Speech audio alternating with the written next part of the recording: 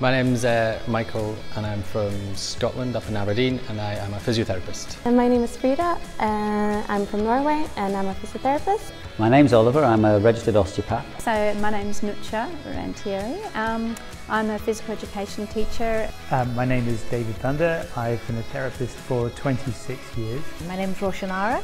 I'm a personal trainer. So my name is Caroline Bashino.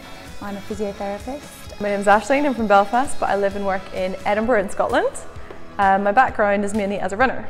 Yeah, so it's changed everything for me. Um, it's given me an understanding of the, the human body and how we move, which is greater than I ever thought I would have. And I can look at people now, and look at patients and think of old patients and, and realise what was going on far better than I ever did before. Yeah, it has made me change my practice and the way I work, see things differently now and a lot more. And I notice a good result as well with the patients that I've seen. It has given my practice a completely different dimension.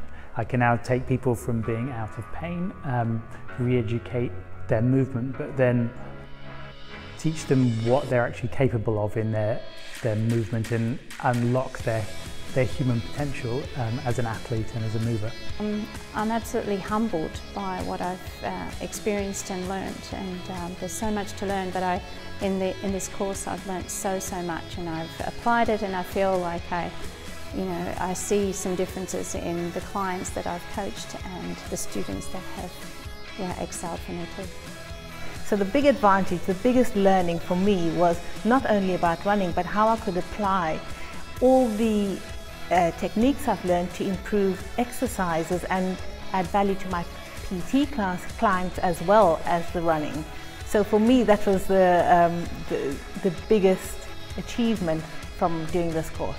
So it's really opened my eyes to the kind of techniques that we can use um, to really improve not just people's running but also their daily lives as well. That's been really interesting for me.